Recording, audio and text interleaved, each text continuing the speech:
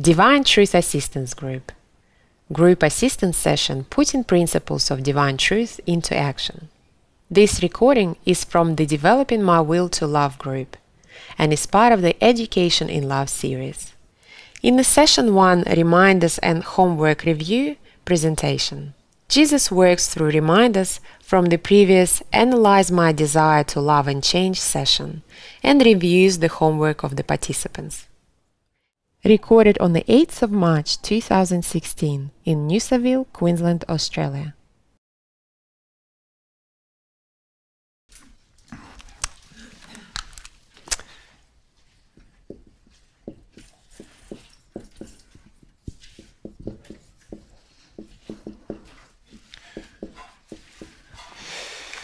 How are we this morning?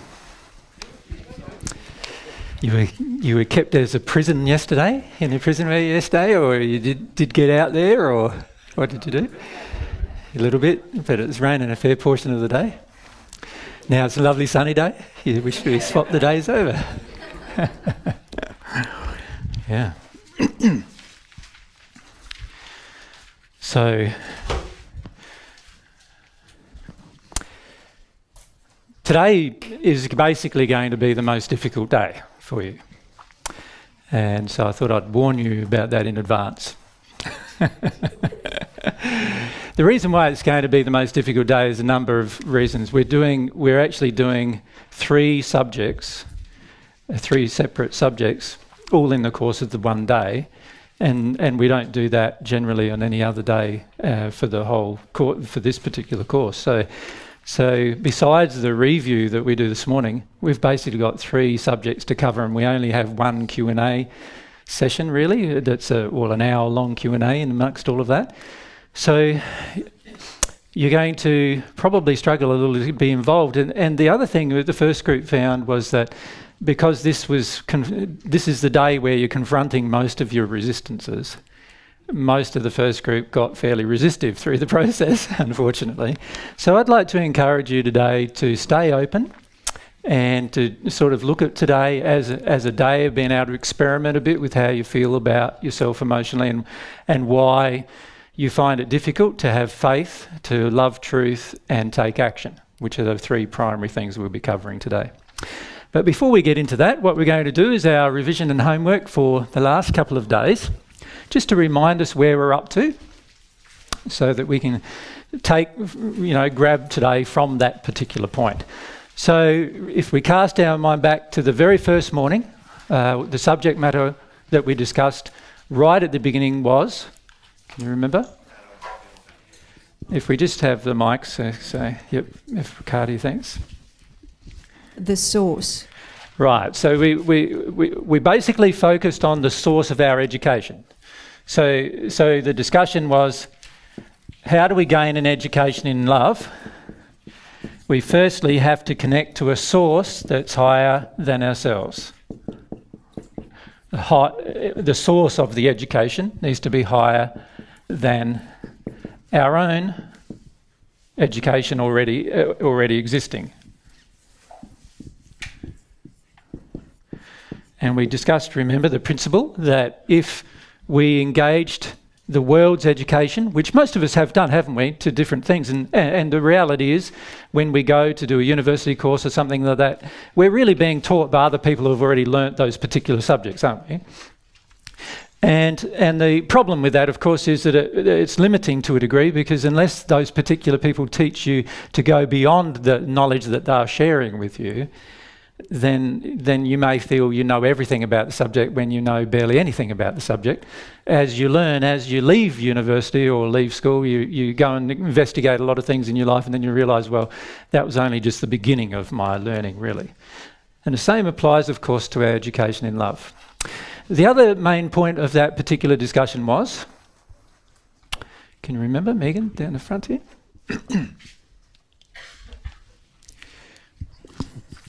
Um, the world's view of love? Yes, so we, we compared the world's definition of love and we've, it's not equal to God's. And in fact, we learnt one basic thing, didn't we? That actually the world's view of love is really, from God's perspective, sin. Yeah. It's a major problem, isn't it? Because we've imbibed the world's view of love, so then what we think is love often is also sin as a result of that imbibing the world's definition of love. So, you know, the things that, that the world expects God to do, God does not do. And the things that, that the world thinks God should not do, God does. So that's a good indication that the definitions of love are completely different. Yep. So we've imbibed this uh, world's part of uh, definition of love, and the problem is is that it's entered us emotionally. It's entered us in our soul. It's it's now present within us as a part of us, and that is where our problems begin. That's why it's so hard to get rid of it, because it's now become a part of us through through the process of our childhood and our experiences, and also very much so our choices, the choices that we've made. So it's not just it's not just our childhood and those experiences, but it's the choices we subsequently made which also damage our viewpoint of love as well. Okay, and then our second discussion, which was on the same morning, was about Cardiff. we uh, how I feel about love. So, here, what are we trying to do? We're trying to analyse how we feel about love and change, aren't we? We're beginning this process of analysis. And remember, I said to you that process may take you months or even years to actually work through these emotions of how you really feel about, about love. So, what did we, we compared primarily two things there. We asked ourselves how I feel about love and how I feel about God, didn't we? And what did we learn in that process? Can you remember? Sorry, don't you let out if we put up hands, thanks. um, Monique? Uh, we we learnt that everything that, um, well, God was like our parent. We see God as our parent. So mm. everything that I want from God Oh, everything. Oh, well, that's true. Everything you want from God you is is what you wanted from your parents. Yes. Uh, yep. yep. And and I so I yeah I can't have a relationship with God, the real God, because I think God is like my parent, yep. and change. Well, we're terrified of change. Yep. And think that change is bad. Yep. And don't have any desire or passion for it. Yes. So it's like in a we're in a really it's a difficult place, isn't yeah, it? Yeah, like, it's a shitty place. Yeah, it's a difficult place. So, how we feel about love and change, so I'll just write the change on the end of there as well. Uh, is quite, you know, we found it was quite negative, really, wasn't it? Quite negative. And how we feel about change is mostly terrified. And how we feel about love is pretty much mostly terrified too, really. And, and we we impose that on the rest of our life, which is the reason why we have usually relationships that begin quite well but then end up quite bad. It's also a reason why our life has a lot of problems, sicknesses, disease. We finish up dying of old age uh, for no real reason. Scientists still haven't found the real reason aside from the death, the, the death gene being kicked off inside of our genetic structure at a certain point. And they don't really understand why that activates at that point either. So you know, there's a whole there's a whole heap of scientific evidence, in fact, that that something else must be going on that causes us to even die, let alone to have diseases and other problems. So this is how we feel. Now, now remember I said to you that we need to really be honest about how we feel. Remember the feedback that I gave you as a group? What was that about? Can you remember the feedback? Um, if we get David, yes. That we don't really want to take responsibility. Correct, that we don't want to take responsibility to be loving, but what do we want a lot of the times? If we go straight behind you, Dave. um, we actually want to do to sin. Yeah, we, we actually desire to. Yeah, and and part of it is because we believe what we think is love is sin. So that's part of our reason why we want to sin. But another part of it is because we don't want to change. We don't. We feel we've got a certain degree of comfort, a certain degree of, uh, you know, we've gotten rid of a lot of the risks in our life through uh, the choices that we've made, and we don't really want to make change because we're terrified of change as well. So, so yeah, there's big problems there for us, isn't there, in terms of facing that. Now, remember, I recommended to you that we have to first settle with that concept inside of us that, wow, a lot of times I actually want to sin. A lot of the times I actually want to do something that's out of harmony with love and truth. And, and to feel why, why you want to is a key part of that. Feel why. Yeah. And then the next morning we focused on this other discussion. Remember what that was? And it's more to do with that same subject, wasn't it? How and why I remain unloving was the subject. And really, that talk was probably the key talk of the of that of those two two days. That subject's the key subject, because there we focused in on the four aspects of. Can you remember what they were? Yell them out for me, please. Faith, truth, truth Yep. Action and emotion. Yep. And what did we find about those four particular things? In the end, Ivana, so if we come down front there. Um, that we lie, um, minimize, justify, um, all those things. All those things. okay, yeah. So, so let's start with denial, which is a which is which is one of the most powerful tools we use, and then of course we do lie, but most of us. Most of us don't so to go for lies as much. So what we do is we do the rest of the things, don't we? Which is excuse, justify, blame, and minimise. Yeah. So we do that. And the problem with doing that with each one of these four things that are going to help us change our life is that we are now consigned to never changing, basically, or only changing in a negative direction. Glenda, thanks. Aren't all those things basically the same as lying to ourselves? Yeah, they are. They're methods. But they're what, I'd, they're what I'd classify as slippery methods. And that's what I find most people are pretty slippery when it comes to, you know, owning up to the truth about a matter. And pretty slippery uh, in the sense of what we do to ourselves to even avoid the truth in ourselves. So we do all of this because of one real reason, and that is because I want to do it. in other words, I'm using my will to deny, lie, excuse, justify, shift, blame, and uh, minimise these these facts. If if I embraced these particular things, growth would be automatic. Uh, that's the reality. Growth would actually be automatic if I could embrace these things. Growth would happen seamlessly.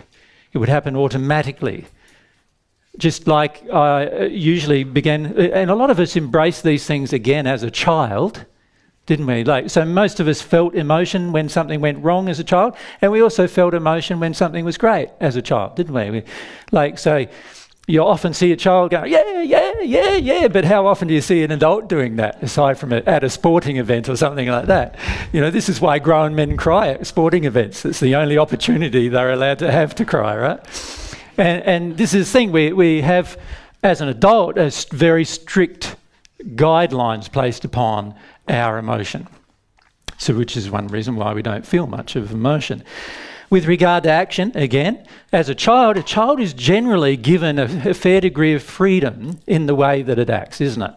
But as adults, uh, you notice we get rid of that freedom. And then when it comes to truth, as a child, a, a child is very open to truth. Unfortunately, they're also open to lies. uh, because they're basically like an open sponge. So you can tell them truth or tell them lies.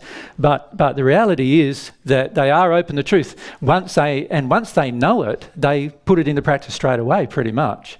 Once they uh, uh once they understand it, and a child automatically has some faith. It looks around at its adults and says, "Well, they're doing all these things. There's no reason why I can't."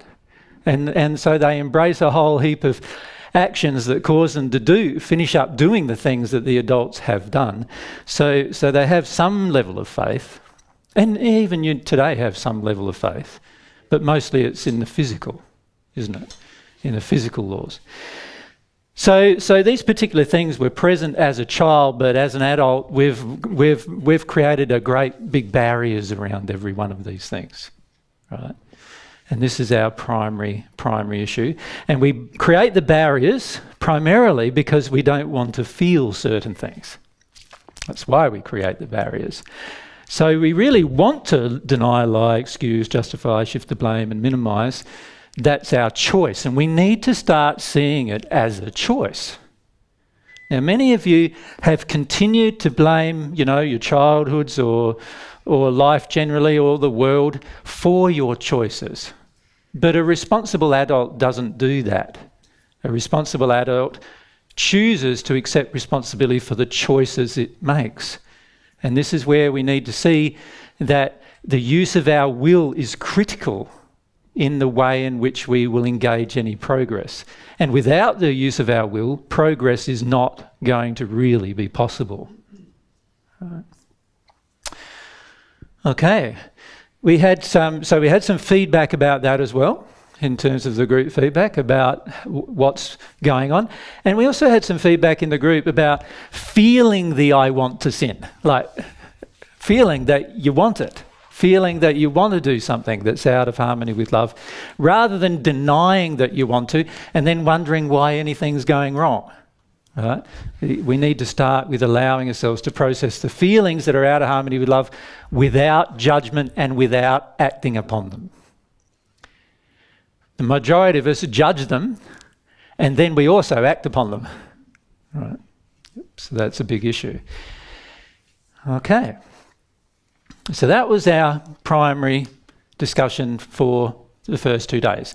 And the general thing that we wanted to do was analyze ourselves honestly and without judgment about how we are currently using our will. Now, in, in the 2014 assistance groups, if you add, add some of the other discussions on that first day to this, you would see that we can measure how we've been going with this over the last two years, right? We could. You compare if you're at that group and you're at this group, and you go, okay, what actually inside of myself has actually changed in that time? And if it's very little, then we know that there hasn't been a strongly developed will to change. All right? So that indicates that there's very little will to change, but only you have control over that. Many of you want someone to motivate you to change or God to come along and wave a magic wand of some kind, you know, and abracadabra and presto, change. And, and those kind of things. And, and these things are not going to happen. It's completely under your personal control. Now, I like that it's under your personal control because that means it's not dependent upon any external factors, which is fantastic. But for the majority of us, we don't like it's under our personal control. We want others to motivate us, to pep us up, give us pep talks and encouragement. And we want others to motivate the change. We even want others to be responsible when we make mistakes about our own progression and, and in our own change. So, so that's an indication we don't want to take responsibility for our own use of our will. So, what we're trying to do is see, help you see that the how you use your will is critical in your future progression. All right?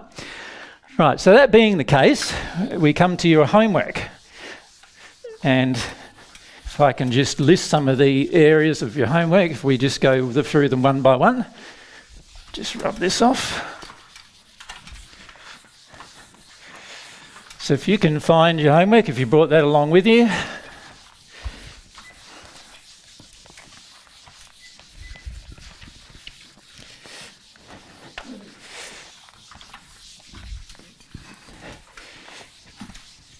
Okay, I'll just uh, find it myself. So the question, first question was, how do I personally feel about love? Now, I'm not going to ask you for how you personally feel about love. What I'm going to ask you to tell me is, what did you learn in that process? What, what was the th- not not the individual things that you learn that you feel about love, but rather as a global, as, as sort of a summary. What did you learn in that process? So go right up the back to Jennifer. I learned that um, I really didn't know about love and I didn't know how to feel real love, and that I'm very angry and I can be very abusive. Yeah. Okay. So that's they are good, honest things that we can sense. Then, yeah. If we go straight across. I felt I was very self centered and egotistical and wanting people just to love me. And if they didn't, I have a lot of hate for what's around me, but it does fluctuate. Yeah. So, so there's almost a, um, most of us almost have a narcissistic view of life, even like we're self-centered, and everything's got to sort of revolve around us, doesn't it? A lot of the times, and this is something that we need to come to terms with in terms of sorting out our life in that regard. So, Marie, if we come down to Marie, and then across to Natalie. Uh, I learnt that I refuse to love, but I demand it, and then I won't receive it. Yeah, isn't that strange? It's like you refuse to do it, but then you demand it, and then you won't receive it. It's all very confusing to the person who's trying to do it, then, isn't it? Obviously. If we go Pamela next. So, Natalie, thanks. Uh, I learnt that I don't trust love, therefore I can't give any.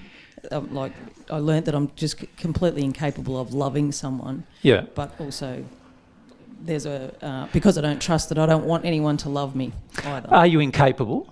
Is no, that true? No, but that's what the feeling is inside of me that I, I'm not willing. Oh, no, I'm not incapable. I'm not willing to love anyone. Yeah, but just be very careful about your choices of the words. Uh, And in fact, uh, one th- great thing about your choice of words is it does display quite some set beliefs, actually. So, so rather than trying to correct the choice of the word, the word that you used was "I'm incapable." Then you can see that that must be a belief you have that that you're really incapable of loving, and and so and that that is a false belief. So you're not going to be able to process that particular belief, are you? Somehow you have to find the truth of why you feel like you're incapable of loving. Does that make sense? So, yeah, but but it is important to see how we use our words because how we use our words is often a reflection of what's really going on inside of us. Yeah. Pamela, thanks. I felt the absence of it. In your life, Yes. generally, Yes. Yep. In terms of giving or and receiving, or or or All of it. all of it, yeah, All of it. yeah. So so most of us set up a very alone life, haven't we? Yes. You can see that the majority in the audience, you've set up an alone life. It's sort of a similar to that to the Glenn character. Oh, it was Glenn Greg Glenn character in the channeling, wasn't it? Um, you know, set up an alone life, thinking that this was life, sort of thing, thinking it was okay, but but because of hurts that he's had in the past, he's and most of us live alone, and even those of us who are in relationships live alone frequently. Yeah, yeah. If we go to David down the front, and across to Christiana on this side.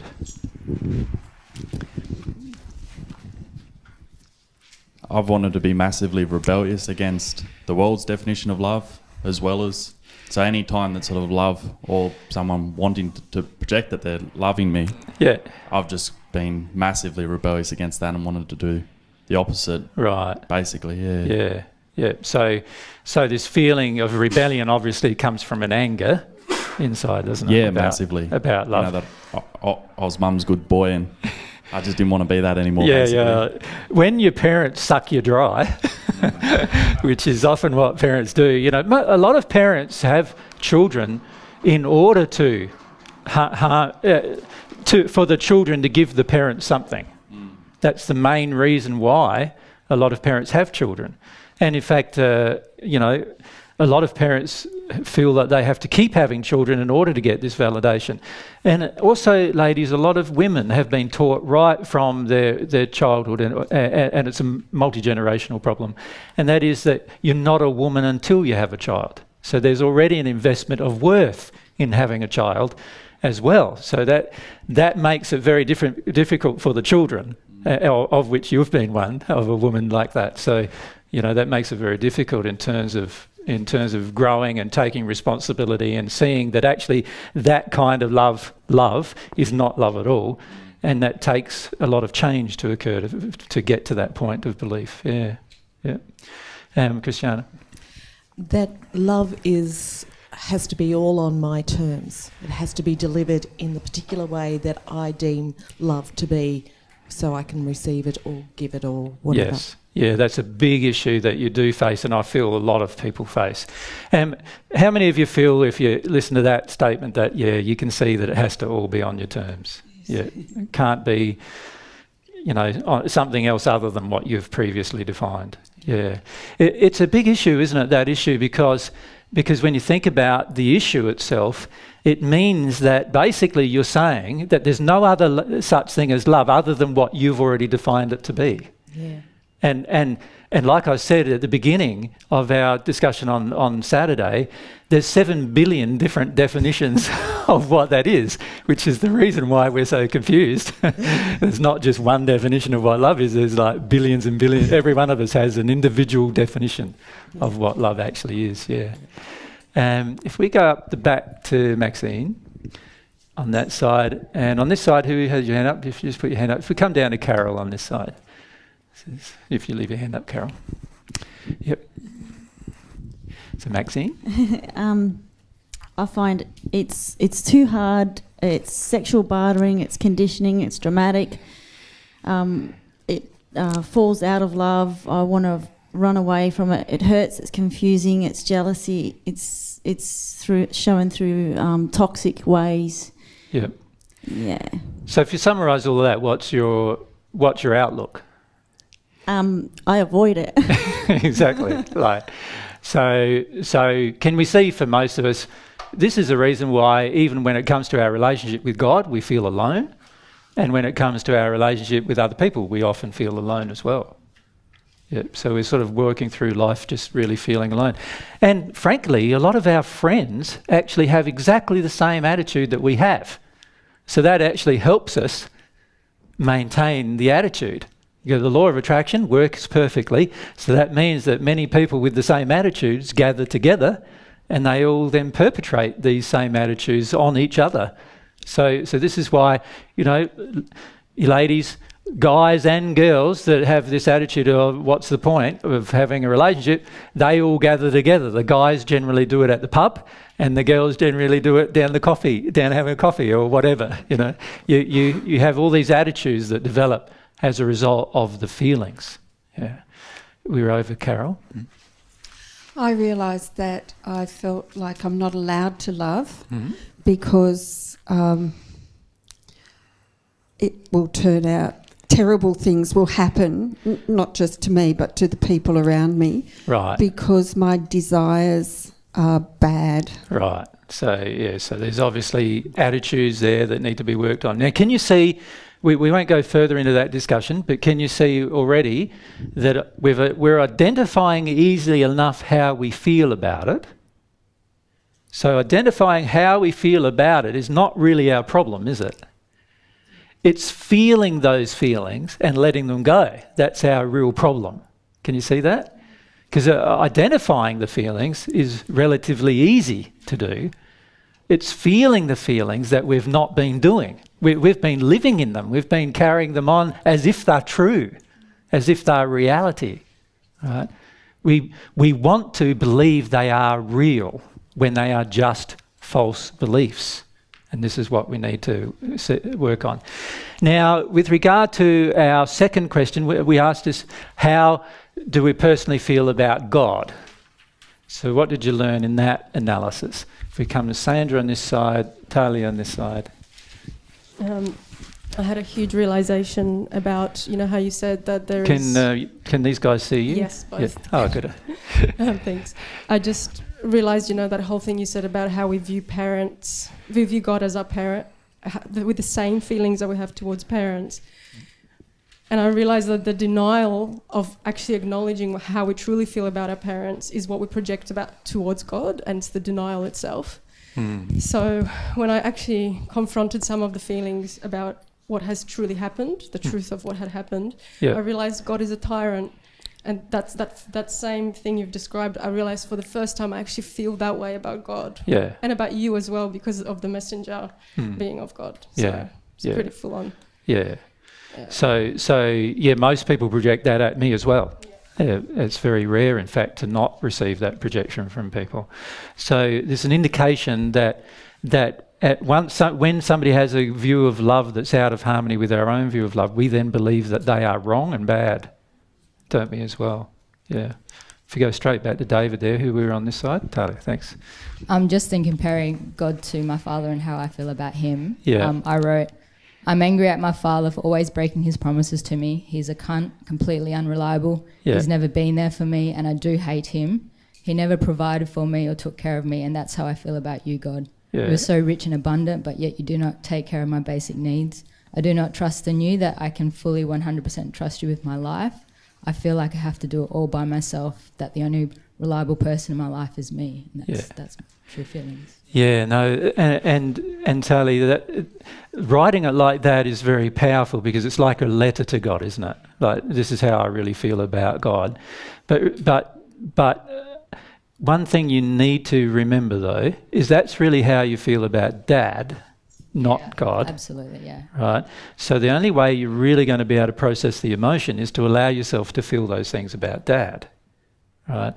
And this is where I see we get really mixed up with God because we think we have all these feelings towards God, but actually, you know, like we discussed, uh, really only towards our family of origin generally. Yeah, absolutely. I've Yeah. only just started, um, you know, saying to God in the last couple of days since being here that I want to begin to disassociate you with my father. So, Yeah. So this this is a great thing to remember, isn't it? Remember we did discuss that how how what we what we view God to be is usually what we feel our parents were. Right. Um, just uh, and and what we need to do is separate that emotionally from ourselves. Now, obviously, we could choose to make that separation fairly quickly, couldn't we? Even though we might have a whole heap of emotion here on this side towards our parents, we could choose to make this disconnection between our parents and God, couldn't we? Because we don't have to actually feel much to do that. We only have to make the separation inside of ourselves somehow, and we'll talk a little bit about how. But can you see that for the majority of us, we don't want to do that? And we don't want to do that because we've got all this emotion with our parents that really hurt, and we don't want to have to feel it. And we want our parents to have to do, deal, deal with it, or we want God to make it all go away. Right? rather than just choosing to feel it.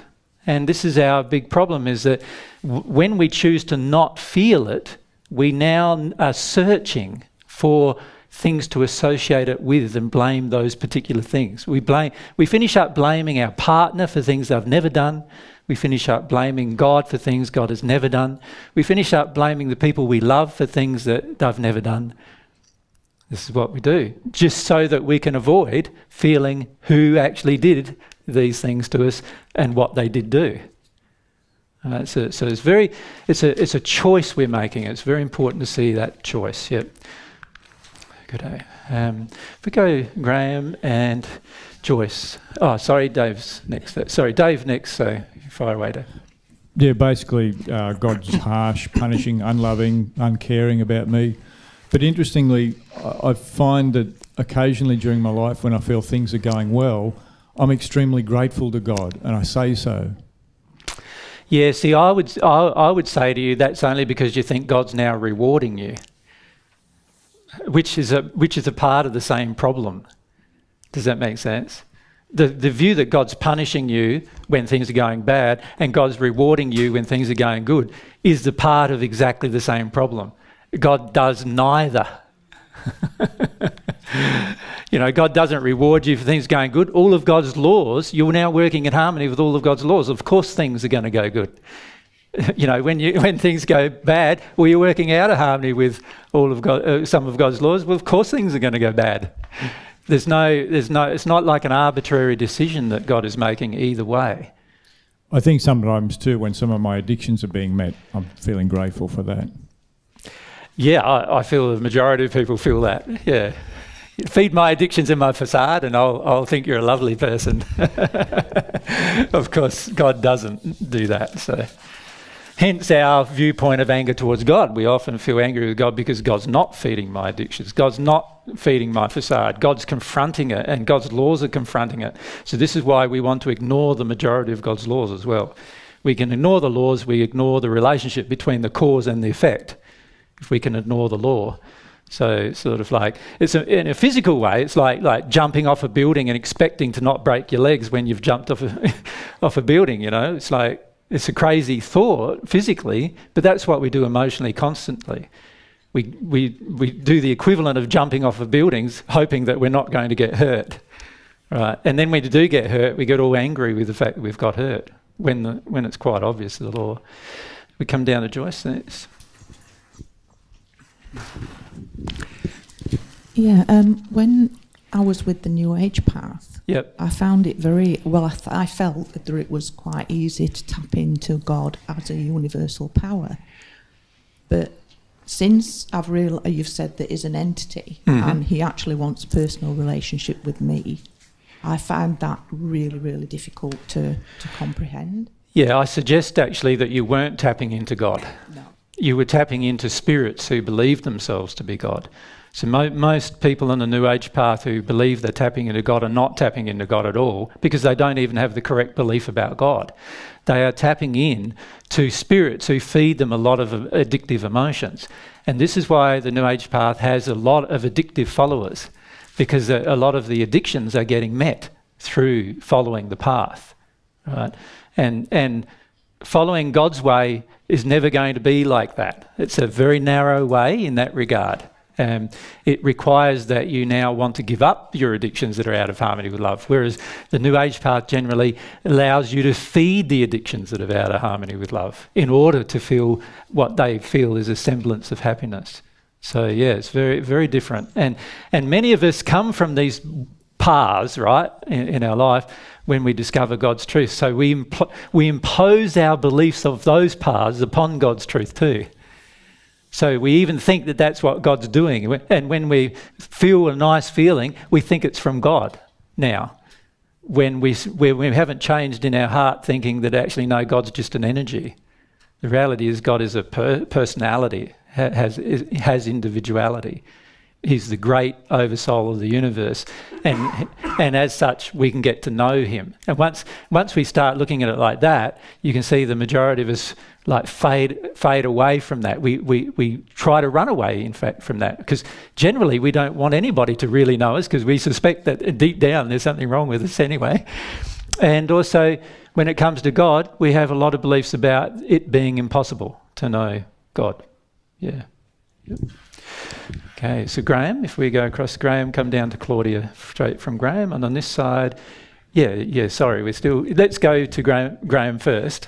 Uh, Graham, sorry, Graham's, um, my other Graham was, was in front of you. go ahead. I sincerely believe in God, mm-hmm. but I don't feel I actually need to form a relationship with God.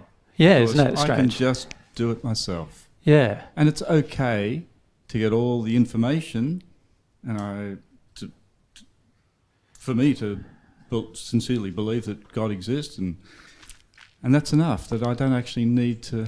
So there's no desire for a personal relationship. Yeah, Yeah. yeah. And this, uh, I- I've met many millions of people in the same place, and and there's always some underlying fears underneath that particular belief system. Yeah. What do you reckon they might be? Well, if I analyse it, I guess I'm thinking of uh, that I'm bad. That when I'm bad, I get punished. My father used to punish me, so perhaps Yeah, for yourself, Graham, I feel a lot of it's about how you view love is about is about things like feeling that you have to earn it. Yes. Feeling that um, the only after you've earned it, then you get it. Yes. And this is an indication that you actually don't believe you don't see love as a gift. Right. Like when we have when we have to earn love, we're not seeing love as a gift. Yeah. So so somebody can love us no matter what we do. Like God loves people in the hills, and they haven't learned, uh, you know, earned anything from God's perspective, Mm. right? And and yet God still loves them. They can't feel God's love, of course. Right? And the re- one of the main reasons why you can't feel God's love is because you still believe you have to earn it. Yeah. And God's Which going, well, that, that kind of love, I c- yeah, that's not the kind of love I'm going to give you. Right, and that's how it was in my childhood. I felt I had to earn my mother's love. Yes, very much so, particularly your mother's. Particularly my mum. Yeah. Yeah. Yeah, and we go to another man who has the same issue with his mother. go ahead, Graham. Um, when I was contemplating God, or when I contemplate God, um, what I've just recently realised is it's what comes up is numb. Yeah. Numbness. Yeah. And you know, I, I don't go one way or the other, and that, but it's numbness, you know. And and the interesting thing was that once I realised that, I then well, okay, well, God's my parent. What do I feel about my parents? And I realised I feel numb about my parents too. Yeah. Yeah. It, it's a way that you've used, hasn't it, to, to cope with what has happened. And, and, and what happens is people who are emotionally sensitive, uh, generally, and quite emotionally sensitive in their childhood, generally do this. They enter a state of numbness towards uh, things around them. And this is why you have things like Asperger's and stuff like that come up, because these particular um so called, you know, conditions are really the choice of the child to disconnect from the terrible barrages of different kinds of emotions that are confusing coming from the adult world around it. And uh, but the problem with that, obviously, is we then numb ourselves out with God as well, and, and we end up just becoming addicted to using our mind to make choices and decisions. Yeah, so it's a big issue for many people. If we come down to Claudia and across to Jada on this side. I have learned that I really don't want a second mum. One mum's enough. too much. yeah, no, I get that. Far away, Jenna. I was just going to ask: Is there a reason why, when we're children and our parents are treating us badly, um, like if God's loving us in those moments, is there a reason that we're not feeling it in those moments as well? We remember that our parents themselves have a disposition, have the emotional disposition. The very first injury on this planet, in fact, was the emotional choice to re- to reject God's love. That's the very first injury. So, what you, the persons you hear of as Adam and Eve, Ammon and a man, that's the decision they made to reject God's love.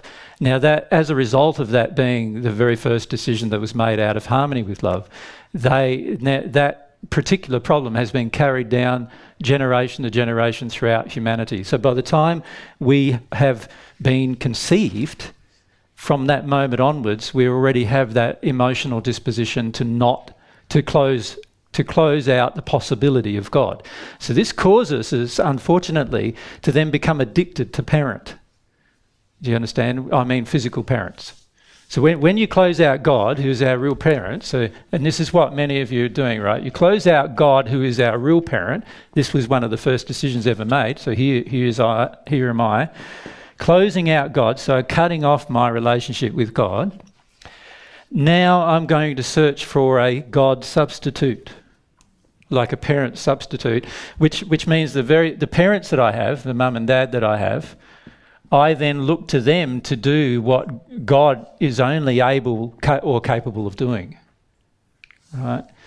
And and this happens at the time of conception onwards, unfortunately. So so by the time I'm born and, and start acting and start being able to be physically active, I'm already imposing upon my parents that they have to do what what you know, because God doesn't exist to me.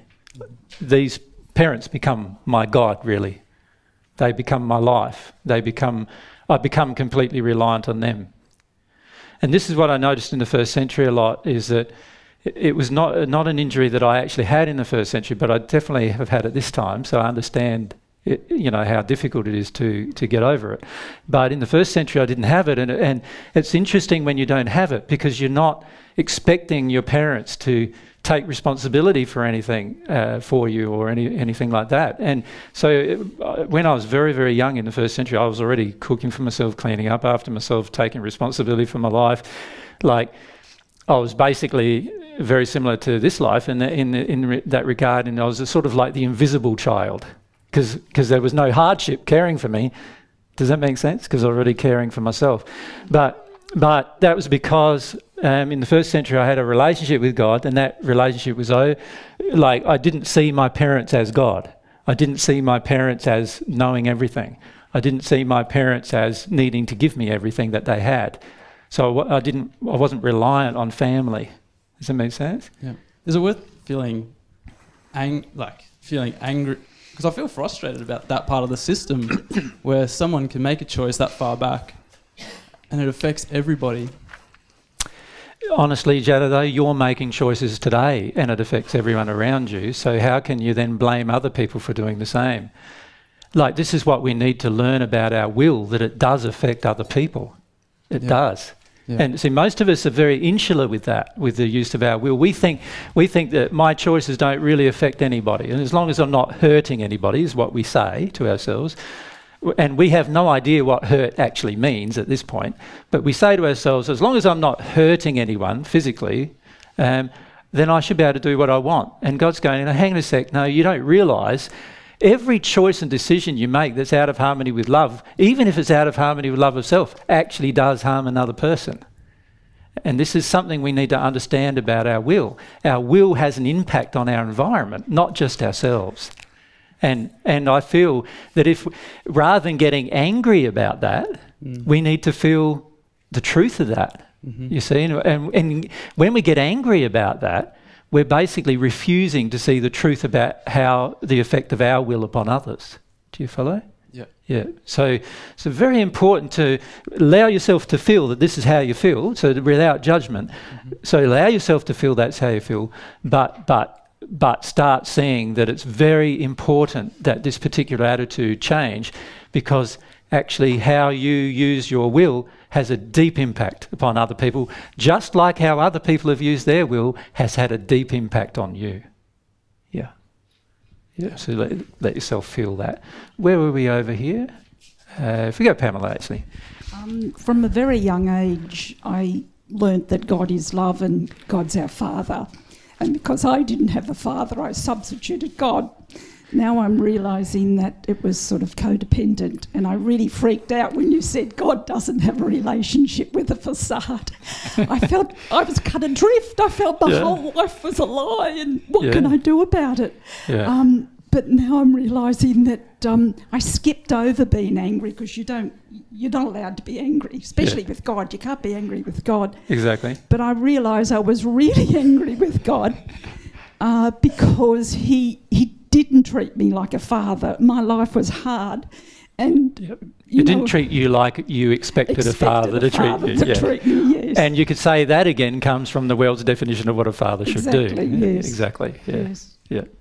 No, that's good. Well, we've only got a few minutes left. So uh, in this presentation this morning, so um, I, I want to just briefly touch on the personal methods you use to remain unloving. What did you What did you discover in that homework? The personal methods you use. What are some of the methods that you've been using? Did you find? Thanks. If we go to Jenny and Scott. Um, my principal method is to get angry, is to totally avoid.